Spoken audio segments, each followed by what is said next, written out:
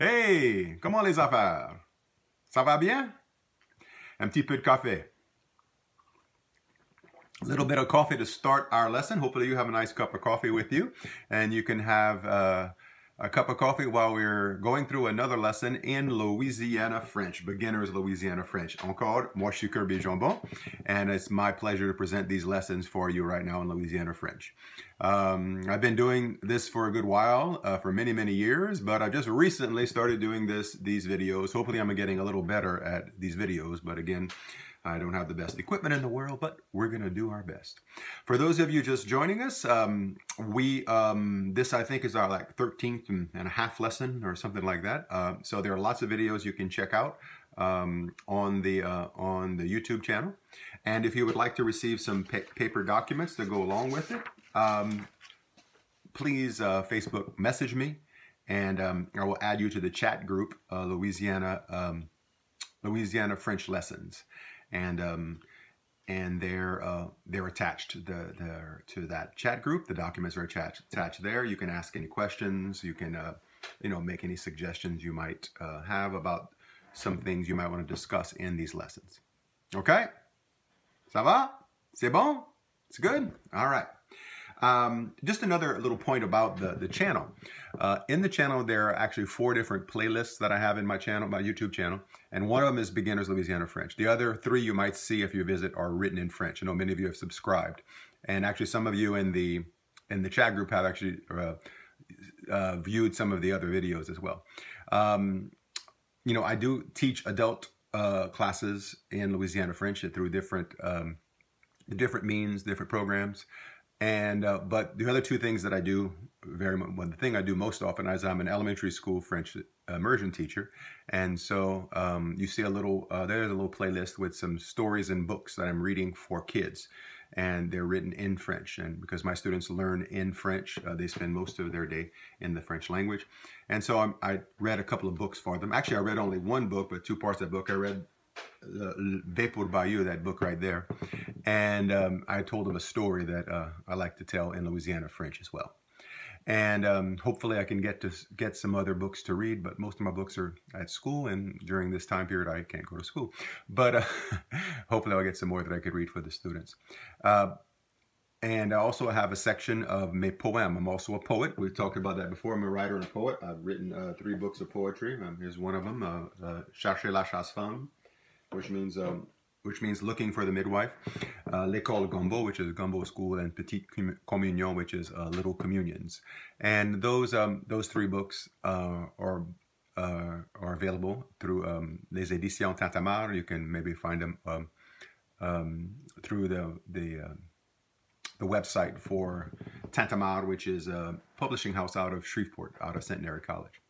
Now, uh, I, and the third section is called Discussion uh, uh, du français louisianais pour les francophones, something like that. And it's basically those are discussions in about Louisiana French in French. Uh, so those are made for folks who are actually native French speakers, either in Louisiana or another country, or uh, persons who studied French um, uh, or have a certain level of French that they, they want to discuss these ideas in French. And in those three, uh, those three playlists, um, I will speak in a combination of Louisiana French and International French because of the circumstances. Um, um, with uh, students in the French immersion program, if uh, they haven't had a lot of experience in Louisiana French, if they might have, they might have had more of an international uh, French uh, taught to them. So they'll hear both of them.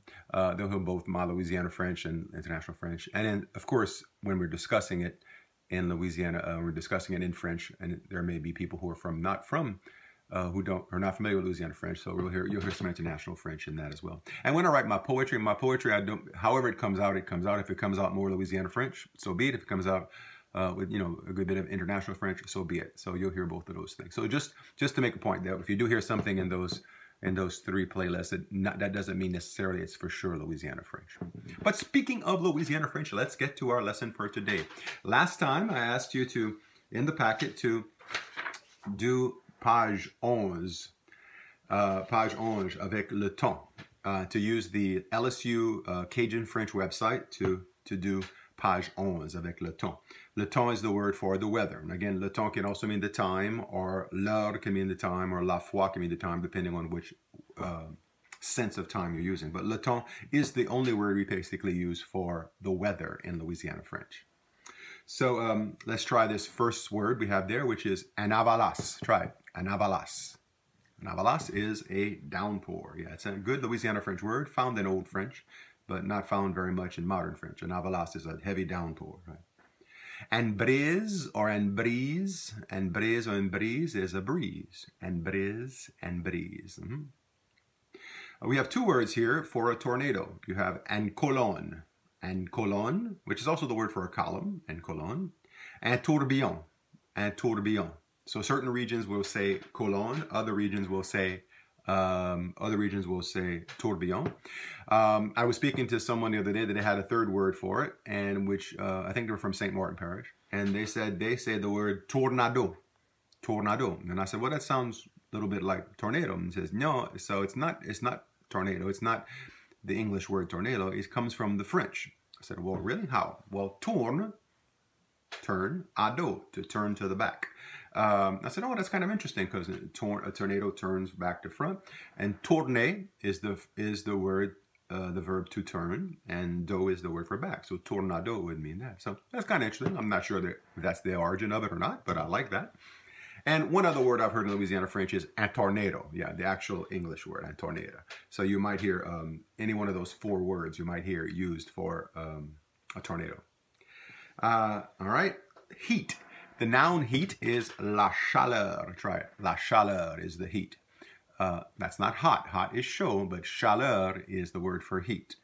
Uh, I always thought it interesting. Um, I know how many of you have ever, uh, maybe some of you are from Canada, but how many of you ever visited New Brunswick or Quebec? Uh, in between New Brunswick and Quebec, uh, just south of La Gaspésie in Quebec and north of northern New Brunswick, there's a bay there called La Baie des Chaleurs, which would be the Bay of Heat. Well, I don't know how hot that is compared to Louisiana standards, but maybe for Canadian standards, it is it is a bay of heat. But the water I've touched up there was not very hot. But everything is relative, I guess you could say. Um, hail, I'm sorry, I skipped one. Uh, la glace. La glace is the word for ice. La glace. Okay. Let's do a little side reference here and go off to talk about la glace used in another sense. Okay. Um, La glace is ice. If you ever go to France and you look at a dessert menu, you may see la glace on there, which would which is um, the word they use for ice cream. Now in Louisiana French, the word we use for ice cream is la crème. La crème, which is internationally the word for cream. And we can also use it for cream. If it's a distinction, if you want to make a distinction between the two, you might hear uh, la crème de lait from milk cream. Like, moi je mets la crème de lait dans mon café. J'aime mon café fort mais j'aime mettre la crème de lait là-dedans. I like my coffee strong, but I like to put some cream in it. Um, not necessarily ice cream, although that might be good. Um, so la crème in Louisiana French is the word we use for ice cream. La glace is the word they use for ice cream in uh, other in France and some other places around the world. Um, you might also just hear la crème glacée or la crème de la glace, la crème à la glace, different versions of ice cream. But back to the word ice, la glace. Okay. Um, hail is la grêle, la grêle. Mm-hmm. Uh, neige, uh, this is the noun uh, for snow, la neige, the snow. Le nuage, the cloud, un nuage, le cloud. If you notice I'm using the la in the le, it helps you to remember the masculine and feminine. The le or the un will tell you that it's a masculine. The la or the an will tell you that it's feminine. Now, Sometimes you may hear uh and un, it's more international, but we typically pronounce that more an and an for the article a, an, or the number one in front of a, um, in front of a noun. Um, I've heard uh, an an used in other varieties of French in the world. In fact, I think I was reading a book called Street French that said in, in Paris you might hear an and an as well instead of un and un. Uh, but an and an is the word for a or an, and an is the masculine, an is the feminine le masculine, la feminine. Okay. Um, the word you see after that is the word, looks like the word ouragan, and it may be pronounced like that. More, often, more often we pronounce it ouragan. L'ouragan with the L apostrophe, with the, the, the hurricane. L'ouragan, an ouragan, a hurricane. It's the word for hurricane, ouragan. The noun for rain is la pluie. Try it, la pluie. If you see it written, they're going to have an L in it. We don't pronounce the L typically in Louisiana French, and uh, in some varieties of, of French in the past, it was not pronounced as well. I've noticed that in some old dictionaries and glossaries. La pluie, la pluie. That's the noun for rain. We'll get to the verb in a minute. Uh, the sun, le soleil, le soleil. Mm -hmm. The wind, le vent, le vent. Mm -hmm. All right. The fog, le brouillard, le brouillard. Mm -hmm. Now, to rain, the verb to rain is mouiller, mouiller. Mouiller is the verb to rain. Internationally, they would say pleuvoir. Mouiller is to rain. Okay. The rain is la pluie. Mouiller is to um, to rain. Just a point of um, of reference. Internationally, mouiller typically means to wet, and international French, uh, in international French, in Louisiana it means to rain. It also in old Acadian French they use it as well as to rain. Um, for, for to wet we say tremper, which internationally would mean more like to soak but we use mouiller to rain and tremper to wet. Neiger is the verb to snow, neiger. Ça va neiger, that means it's going to snow. Not today in Louisiana, but maybe là-bas dans le Canada, but not in Louisiana for sure. All right, now here's an interesting term that we have in French, um, and it's in any variety of French. Um, in English, we don't have a, a, verb describing the wind. We have a verb for rain and wind. We say it's, you know, it's you know, for most things, it's raining, it's snowing, it's hailing. You can most, pretty much know this. But we don't say it's winding. But in Louisiana, but in French, you do. Uh, there is a verb. It's called venter. Venter means to to wind in a sense, to blow in, to be windy, to, to have. So we have a verb for that. So we, instead of saying, you know, you can say there is some wind, but typically we say we would say it's winding. It, yvont, venter. Okay, yvont, as they say, or savant. Okay.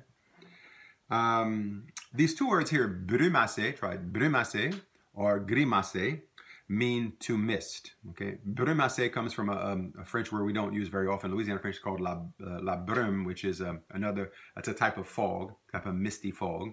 Et la brume, and you have brumasser, meaning to be to mist, to be misty. Okay, and you also might hear the term grimace, brumasser, grimacer. I'm not sure the origin of why grimace is used in Louisiana French. Um, it could be it could be an old word, or it could be because it sounds like grimace, grimace. Because grimace for me growing up, grimace, grimace means to make a grimace. That means to make a face. You know, grimace, you know, make a face. And or maybe the origin is simply because when you go outside and it's all misty, you might make a grimace. Ooh, ooh, it's like good. So I don't know. Maybe that's why. But but uh, but you might hear you hear both them, grimace or grimace. Okay. It's nice weather out. Huh? What? Ça fait beau dehors. Ça fait beau aujourd'hui. Huh? It's nice weather today. Il fait beau. Huh? Il fait beau. C'est, c'est un beau temps. All right?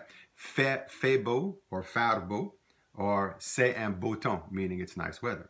C'est un vilain temps means it's bad weather. And instead of using the word for bad there, we use the word vilain, which means ugly. We can use un mauvais temps, it's bad weather, but more often not, you might hear un vilain temps, meaning it's ugly weather it's, uh, to describe bad weather.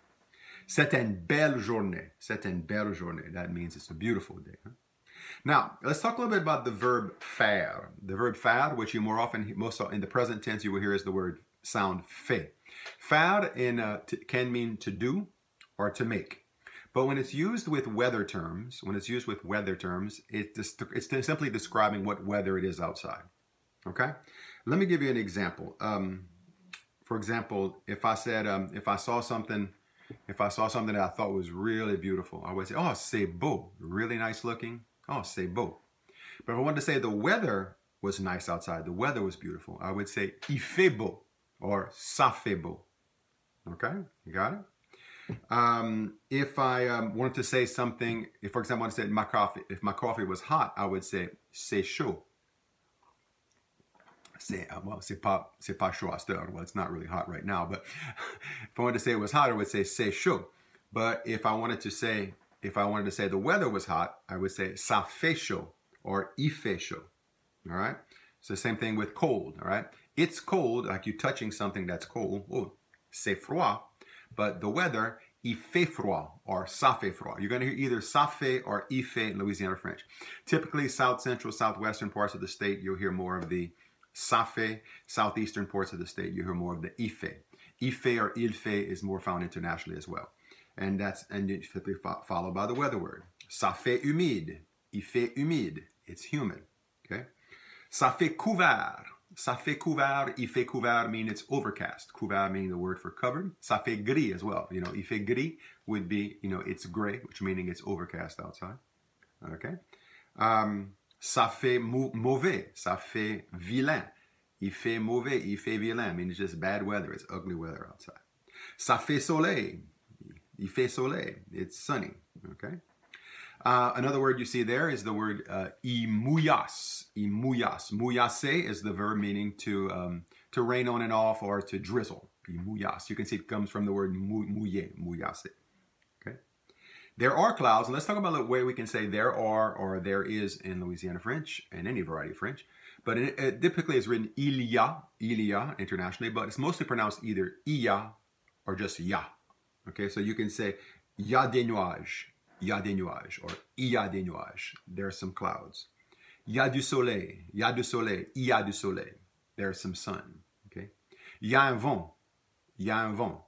There's a wind. Il y a du vent. There's some wind. Okay. And then you can simply describe it by using the, the word for weather. You can say le temps est beau. The weather is beautiful. The weather is nice. Le temps est beau. Le temps est couvert. The weather is overcast. The this you know uh, the um, the weather is, um, the clouds, it's cloudy outside. You can use any one of these terms, okay? Et euh, moi, je pense que le, le temps va, je crois que le temps va être couvert aujourd'hui. Ça va faire couvert aujourd'hui. It's going to be uh, cloudy weather right here in Louisiana French. But, um, but uh, in Louisiana, in Louisiana, our weather today in Louisiana is going to be cloudy, I should say. And uh, I don't know what it's like chez vous autres.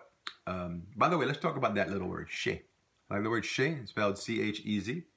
Uh, in Louisiana French, sometimes pronounced c'est without the H, c'est or chez. And chez is the word you, which means uh, to be at a certain place or belonging to a certain place of a certain place. Uh, good example, for example, chez nous autres or c'est nous, c'est nous, c'est nous autres, chez nous, chez nous autres means at our place or at our home or at home in simple, you know, at our home. Okay, because nous autres is the word for uh, we. Okay. Chez vous autres, c'est vous autres, or c'est vous or chez vous, chez vous, chez toi, c'est toi, all of those is like your place or your home, okay? Uh, y'all place or y'all home. So I have that shit. Um, and then you would say, for example, uh, if you want to go to somebody's specific house, like if you were coming, if you were going to, uh, if you were going to Josette's house, you would say uh, chez, chez Josette or c'est Josette. All right. If you were going to um, to Pierre's house, you would go chez Pierre or c'est Pierre. Okay. Um, uh, someone who has a business, for example, uh, let's say Robert has a, um, a restaurant, and he could call his restaurant Chez Robert, all right, or C'est Robert, which means Robert's place, his restaurant. You know, you can even use it, uh, for example, if you're going to, you say, je vais aller, um, um, yeah, je vais aller uh, chez le docteur, okay, or c'est le docteur, which means I'm going to the doctor's place, to the doctor's office, and things like that. So you can use it in that sense, that word chez or c'est. So, mais en Louisiane, on dit comme, um, on dit comme dit en, en anglais uh, et en espagnol, mi casa es su casa, or in uh, English, uh, our home is your home. We say, um, uh, uh, Right, chez vous, c'est chez nous. Chez nous, c'est chez vous, I should say. which is, um, chez nous autres, c'est chez vous autres, which is, means our home is your home. And so, oh, everyone these days, most of us are chez vous autres, except those good essential workers. Thank you for all you do. Merci beaucoup. And for the rest of you, merci beaucoup for staying, uh, following the guidelines, staying safe, resting, and uh, à la maison, and uh, taking care of one another. Okay? So encore, uh, jusqu'à la prochaine. Uh, soignez vous autres, soignez les autres. Take care of each other. Bye.